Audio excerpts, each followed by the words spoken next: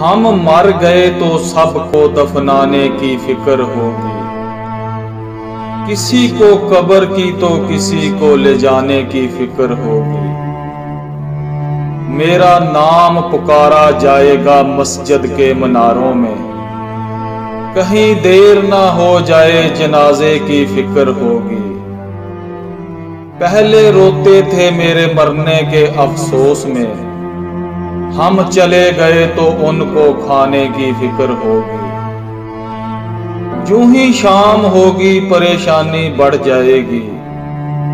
कितने मेहमान आ गए, सुलाने की फ़िक्र होगी। फीके चावल बनाएँगे, सब गोश्त बनाएँगे। सबको बरादरी में इज़्ज़त बनाने की फ़िक्र होगी।